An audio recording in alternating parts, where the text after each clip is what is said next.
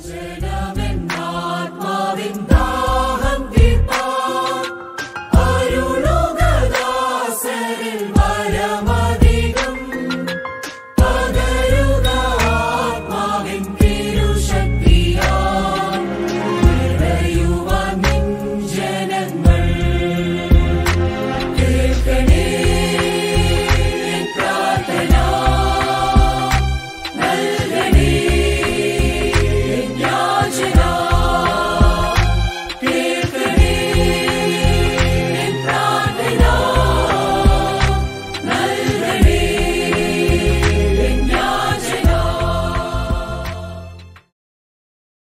ദൈവ തിരുനാമം പ്രഭാതത്തിൽ മകുത്തപ്പെടുമാറാകട്ടെ പ്രഭാതത്തിൽ വചനം ശ്രവിക്കുന്ന ഏവർക്കും സ്നേഹ വന്ദനങ്ങൾ ഇന്നത്തെ അല്പസമയത്തെ ധ്യാനത്തിനായി തിരഞ്ഞെടുത്തിരിക്കുന്നത് വെളിപ്പാട് പുസ്തകം ഒന്നാം അധ്യായം അതിന്റെ ഒൻപത് പത്ത് വാക്യങ്ങൾ. നിങ്ങളുടെ സഹോദരനും യേശുവിന്റെ കഷ്ടതയിലും രാജ്യത്തിലും സഹിഷ്ണുതയിലും കൂട്ടാളിയുമായ യോഹനാൻ എന്ന ഞാൻ ദൈവവചനവും യേശുവിന്റെ സാക്ഷ്യവും നിമിത്തം പത്മോസ് എന്ന ദ്വീപിലായിരുന്നു കത്രു ദിവസത്തിൽ ഞാൻ ആത്മവിവശനായി. യോഗനാൻ പത്മോസിൽ തടവുകാരനായിരിക്കുമ്പോഴാണ് വെളിപ്പാട് പുസ്തകത്തിലെ സംഭവങ്ങൾ നടക്കുന്നത്. ഏഷ്യ മൈനറിൽ നിന്ന് മുപ്പത്തഞ്ച് മൈൽ തെക്ക് പടിഞ്ഞാറായി കടൽ തീരത്ത് കിടക്കുന്ന ഒരു ദ്വീപാണ് പത്മോസ്. എ ഡി തൊണ്ണൂറ്റിയഞ്ചിലാണ് ഏതാനും മാസത്തേക്ക് യോഹന്നാനെ നാട് കടത്തിയത്. എട്ട് മൈൽ നീളവും നാലു മൈൽ വീതിയുമുള്ള ഒരു ചെറിയ ദ്വീപാണ് പത്മോസ്.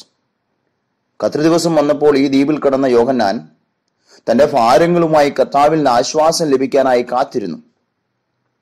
യോഹന്നാന്റെ മനോഭാരത്തിനുള്ള പ്രധാന കാരണം നാഥനില്ലാതെ ചിന്നിച്ചിതറി കിടക്കുന്ന സഭയായിരുന്നു. ചക്രവർത്തിമാർ സഭയെ പീഡിപ്പിച്ചുകൊണ്ടിരുന്നു കഥാവിന്റെ നടത്തിപ്പിനായി യോഗനാൻ കാത്തിരുന്ന് പ്രാർത്ഥിക്കുകയാണ്. പ്രിയരെ കത്ര ദിവസം പ്രാർത്ഥനയ്ക്കും കൂട്ടായ്മയ്ക്കുമുള്ള ദിവസമാകുന്നു. ആ നിർജന ദ്വീപിൽ കൂട്ടായ്മയ്ക്ക് തന്റെ കൂടെ ആരുമില്ലാത്തതിനാൽ യോഹനാൻ കർത്താവിന്റെ കൂട്ടായ്മയ്ക്കായി കാത്തിരിക്കും. അങ്ങനെ കാത്തിരുന്ന യോഹന്നാന് കത്ര ദിവസത്തിൽ കർത്താവിന്റെ ദർശനം ലഭിച്ചു. യോഗനാൻ ആത്മവിവശനായി എന്നാണല്ലോ നാം അതിന്റെ പത്താമത്തെ വാക്യത്തിൽ വായിക്കുന്നത്. കത്ര ദിവസത്തിൽ കഥാവ് പ്രത്യക്ഷനായി യോഗനാനെ ധൈര്യപ്പെടുത്തി. യോഗനാൻ ആ ദർശനത്തിൽ ശക്തിപ്പെട്ടു. അതേ പ്രിയരെ ദൈവം നമ്മുടെ മധ്യത്തിൽ എഴുന്നള്ളി വന്നാൽ നാം ശക്തിപ്പെടും. നമ്മുടെ പ്രതിസന്ധികൾക്ക് പരിഹാരമാകും. നമ്മുടെ പ്രശ്നങ്ങൾ മാറിപ്പോകും. കത്ര ദിവസത്തിൽ കർത്താവ് യോഗനാനോട് സംസാരിച്ചു. അനേകരോട് കർത്താവ് സംസാരിക്കുന്ന ദിവസമാണ് കത്ര ദിവസം. തന്റെ മറ്റൊരു പ്രശ്നത്തിന് ഉത്തരമായിരുന്നു കർത്താവിങ്കിൽ നിന്ന് ലഭിച്ചത്. അനേകർ പീഡനത്തിൽ മരിച്ചിരുന്നു. അവരെ ഓർത്ത് ഭാരപ്പെടുന്ന ഒരു നിമിഷം. അങ്ങനെ ഭാരപ്പെട്ടതായി യോഹനാനോട് പറയും നീ ഭാരപ്പെടേണ്ട.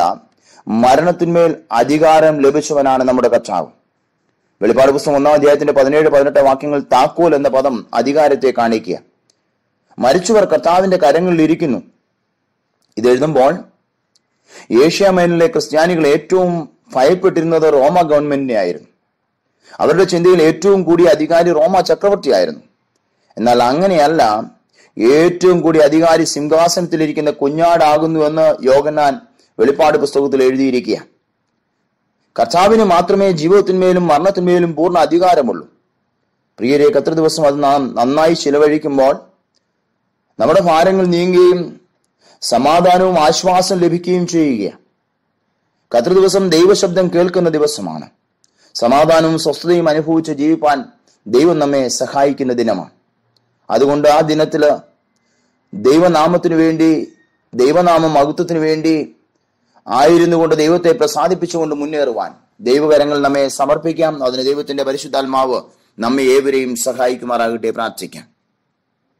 കഥാവെ തന്ന വിലയേറിയ നന്മകൾക്കും അനുഗ്രഹങ്ങൾക്കും കരുതലുകൾക്കും ദൈവിക വചനത്തിനായും ഞങ്ങൾ നന്ദിയോടെ സ്തുതിക്കുന്നു. വചനം കേട്ട് എല്ലാവരെയും അനുഗ്രഹിച്ചാട്ട് കച്ചാവേ അങ്ങയുടെ വിലയേറിയ കരുതലും കൃപയും അനുഭവിച്ചുകൊണ്ട് ഈ ലോകത്തായിരിക്കാൻ ഞങ്ങളെ സഹായിച്ചതിനായ നന്ദിയോടെ സ്തോത്രം. ഒരു പ്രഭാതം കൂടെ ഞങ്ങളുടെ ആയുസ്സിൽ തന്നതിനായി സ്തുതിക്കുന്നു കച്ചാവേ അത്ഭുതകരമായി തുടർന്ന് ഞങ്ങളെ പരിപാലിച്ചാട്ട്.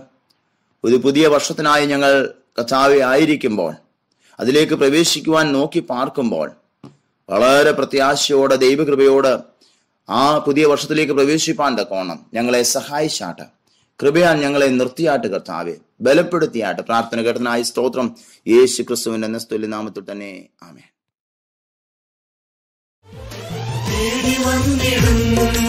എന്റെ സ്നേഹിതൻ രോഗശയ്യയിൽ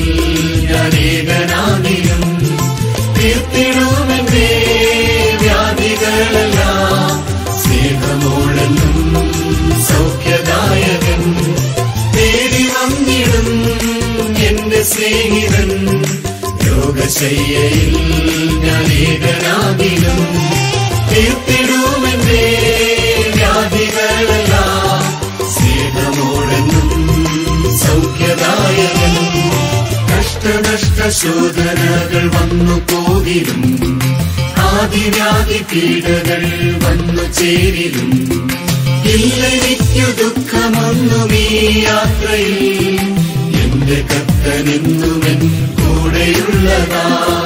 ഇല്ലെനിക്കു ദുഃഖമൊന്നും നീ യാത്രയിൽ. എന്റെ കത്തനെന്നുമെൻ കൂടെയുള്ള